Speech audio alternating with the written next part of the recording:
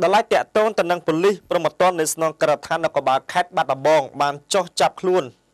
ភិក្ខុសង្ឃមួយអង្គដែលពាក់ព័ន្ធទៅនឹងករណីបណ្ដឹងព្រមត្តនពីបទធ្វើឲ្យប៉ះពាល់ដល់ព្រះពុទ្ធសាសនា និងកាន់កាប់រក្សាទុកអាវុធខុសច្បាប់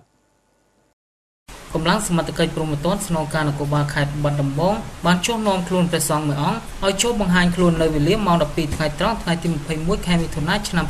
2017ដោយអនុវត្តតាមទីការបញ្ជាឲ្យចូលខ្លួនរបស់អัยការអមសាលាដំបងខេត្តលេខ958ចុះថ្ងៃទី21ខែមិថុនាដោយបានចុះហត្ថលេខាដោយលោកគីប៊ុនណារ៉ាតំណាងអัยការអមសាលាដំបងខេត្តនិងបានចុះអនុវត្តនីតិវិធីនៅកុដលេខ12ស្ថិតក្នុងវត្តដំរីសសង្កាត់ស្វាយប៉ោងក្រុងខេត្តបាត់ដំបងដែលដឹកនាំដោយលោកសោមគូវិតអនុប្រធានការិយាល័យព្រំប្រទានកម្រិតស្រានៃស្នងការនគរបាលខេត្តបាត់ដំបង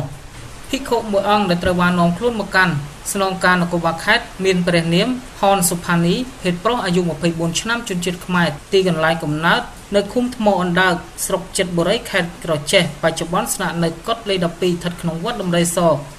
យោងតាមលិកាបញ្ជាឲ្យចូលខ្លួនរបស់លោកគីប៊ុណារ៉ាព្រះរាជអាជ្ញារងនៃសាលាដំបងខេត្តបាត់ដំបងគឺបញ្ជាឲ្យភិក្ខុសង្ឃព្រះនាមហុនសុផានីឲ្យចូលបង្ហាញខ្លួននៅឯយការអមសាលាដំបងខេត្តបាត់ដំបង ឲ្យបានមុនថ្ងៃទី5ខែកក្កដាឆ្នាំ2017រៀងរាល់ម៉ោងធ្វើការដើម្បីសាកសួរលើបណ្ដឹងព្រមត្តនពីបទធ្វើឲ្យប៉ះពាល់ដល់ព្រះពុទ្ធសាសនានិងកាន់កាប់រក្សាទុកអាវុធខុសច្បាប់ប្រព្រឹត្តនៅចំណុចវត្តដំរីស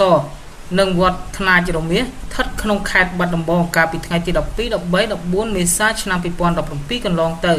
បច្ចុប្បន្នភិក្ខុសង្ឃដែលត្រូវបានកម្លាំងសមត្ថកិច្ចព្រមត្តនកម្រិតស្រានៃស្នងការនគរបាលខេត្តបាត់ដំបងនាំខ្លួនមកកាន់ស្នងការនគរបាលប៉ូលីសដើម្បីធ្វើការសាកសួរតាមនីតិវិធី។